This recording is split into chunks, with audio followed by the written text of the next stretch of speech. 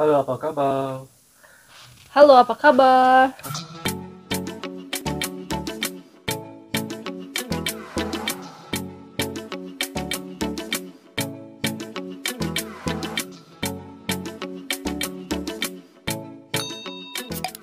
subscribe. Assalamualaikum warahmatullahi wabarakatuh. Welcome back to my channel. Di video kali ini aku akan nyobain mie instan baru lagi. Mie yang lagi viral banget nih akhir-akhir ini. Sebenarnya dia tuh uh, salah satu merek chicken gitu, tapi mereka ngeluarin produk mie instannya. Ini dia mie-nya Ricis aku akan cobain semua variannya. Ini aku ada uh, tiga yang mie goreng dan dua yang mie kuah. Kalau yang mie gorengnya itu ada level 0, level 3, dan level 5 dan kalau mie kuahnya itu aku cari-cari cuma ada dua guys. Jadi yang level 0 dan level 3 ya aku cuma nemu 5 macam aja dan kita akan cobain semuanya. Aku kira tuh mie nya itu gede guys kayak samyang gitu ya. Tapi setelah aku compare dengan indomie ternyata sama dan aku beli mie ricis ini satunya tuh 5500 menurut aku itu masih mahal ya guys kalau untuk mie instan biasa gitu cuma kita akan coba nanti rasanya. Untuk level 0 nya ini bentuknya kayak gini. Bumbunya kayak mie instan biasa kan guys tuh. Bumbu keju sama cabai ada cabai bubuknya juga. Nggak level 0 dong. Oke. Okay. kalau mie nya sama ya guys ya. Semuanya kayak gini tuh. Kayak mie biasa kecil-kecil gitu kayak indomie deh persis ini mah. Oh ada minyaknya. Kalau yang mie gorengnya iya kalau yang mie gorengnya ada minyaknya. Tapi kalau ininya sama nih yang level 0 ini yang mie, eh mie kuah ini yang mie goreng. Tuh ini mie goreng level 3 oh iya ini minyaknya merah ya guys. Tuh. Dan ini yang level 5 yang warna hitam yang paling pedes. Oh sama kayak yang level 3 tapi kayaknya beda di minyaknya ini mungkin lebih pedas ya. Untuk dalamnya sih sama-sama aja. Udah aku buka semua sekarang aku masak minyak dulu. I'll be aku udah masak semua variannya yang tadi aku udah tunjukin. Di sini sengaja aku tulis-tulisin karena aku takut lupa. Dan emang lupa. Nih makanya aku ditulis-tulisin gini. Ini mie goreng yang level 0 ini yang level 3 ini yang level 5 dan ini mie kuahnya juga yang level 0 dan level 3 ini yang level 0 guys. Tuh biasa aja sih. Kayak mie goreng biasanya. Ini juga aku tambahin telur. Hehehe gitu. Kalau dari luarnya sih nggak terlalu kelihatan beda gitu. Cuma yang aku aneh tuh yang mie kuah guys.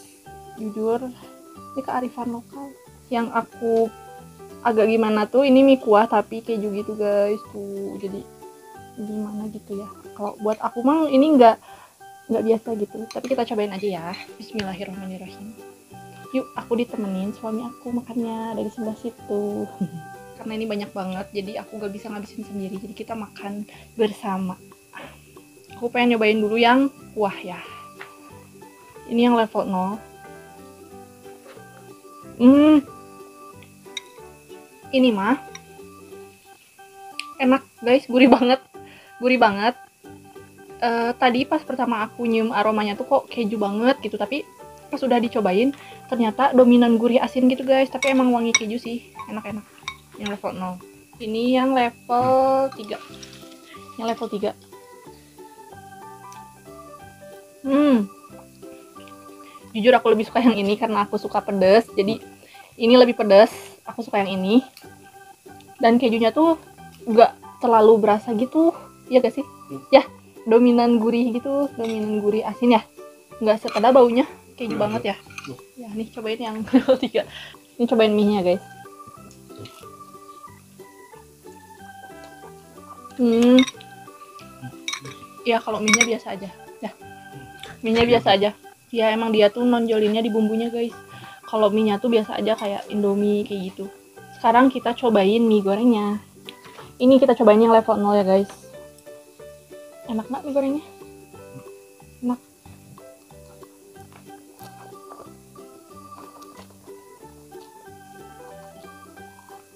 Hmm. Untuk yang level 0 menurut aku nggak terlalu keju sih.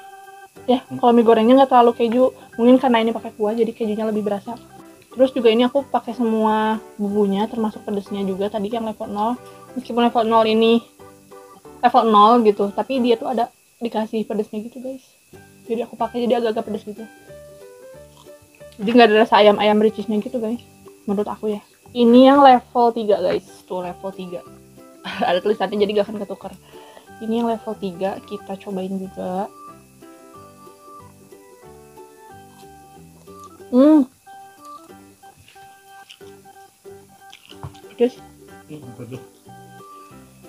apa aku salah naro ya? Nggak deh kayaknya ini level 3 kalau rasanya sih sama kayak yang level 0 tadi cuma ini pedesnya jauh banget. Ya sama yang level 0 pedes banget langsung jak gitu. Lumayan pedes guys. Kita cobain dulu yang ini deh yang level 5 yang level 5 nya kita cobain ya.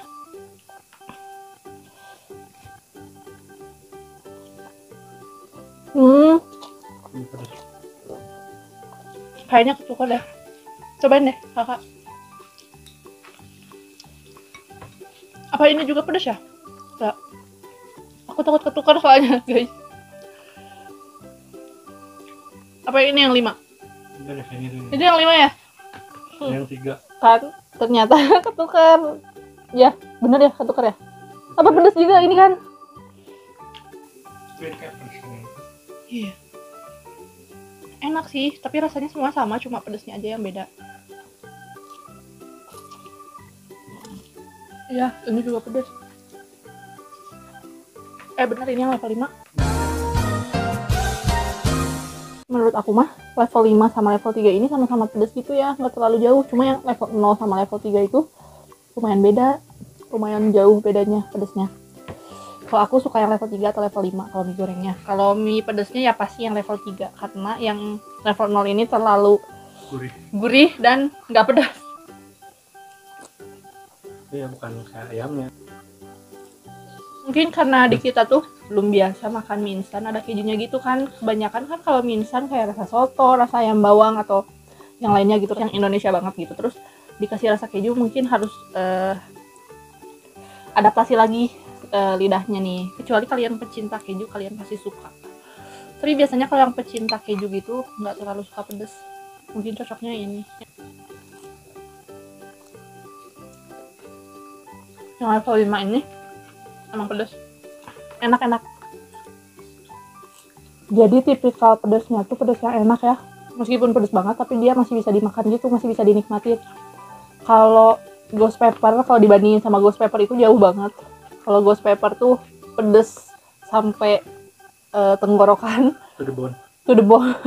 Sampai perut tuh panas. Dan after feel-nya itu tuh yang parah banget kalau udah beres makannya itu panas banget mulut tenggorokan perut. Jujur pedesnya enak. Untuk kalian yang penasaran ini worth it banget untuk dicobain sih.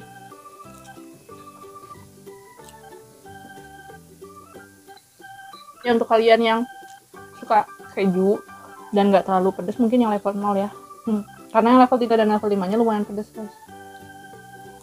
Tadinya tuh aku meng-underestimate-kan si pedesnya ini. Karena beberapa merek mie instan yang aku coba pedesnya tuh nggak sepedes itu kayak ekstra pedas ekstra pedas tapi eh, realitanya itu nggak sepedes itu guys. Tapi kalau sedikit ini menurut aku pedesnya lumayan pedes. Nggak lumayan pedes sih emang pedes.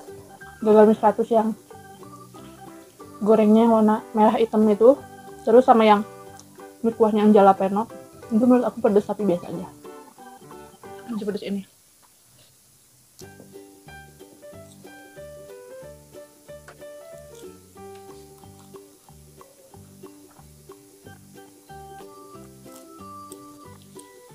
pedas kita ini dua udah habis. Dan ini sisa sedikit. Tinggal yang ini guys. Jadi udah nggak penasaran deh sama mie ricis. Tapi kalau misalnya aku pengen beli mie yang pedas-pedas pasti aku belinya yang ricis fire level 5 pedas di video sebelumnya tuh aku nyobain ghost pepper. Dan aku nggak akan pernah beli mie itu lagi guys. Ini pedas banget parah menurut aku. Padahal aku tuh suka ba- banget pedas tapi nggak kuat kalau ghost pepper sampai ghost pepper itu. Tapi ada yang lebih pedas lagi mie apa ya yang dari Korea kalau nggak salah itu lebih pedas lagi. Cuma makasih. Ini untuk nanti setelah video ini aku akan abisin sama suami aku. Harus habis pokoknya. Tapi kita butuh jeda. Yang jelas eh, kita udah cobain semua varian eh mie ricis dari level 0 sampai level 3 dan mie gorengnya dari 0 sampai level 5 menurut aku lumayan enak dan pedesnya sih itu pedes. Oke. Untuk kalian yang pengen cobain mie ricis eh, mie gorengnya atau mie kuahnya kalian bisa beli di e-commerce. E-commerce itu banyak yang jualan meskipun agak meskipun harganya agak-agak mahal menurut aku. Eh, harganya 5.000 sampai 7.000-an bahkan ada yang 10.000 tapi untuk kalian yang penasaran itu boleh cobain ya. Oke segitu dulu aja video kali ini. Semoga kalian yang penasaran sama miminya Ricci video ini semoga bisa menjawab rasa penasaran kalian. Dan kalau mau nyobain langsung kalian boleh beli sendiri gitu guys. Terima kasih buat yang udah nonton. Sampai ketemu di video selanjutnya. Assalamualaikum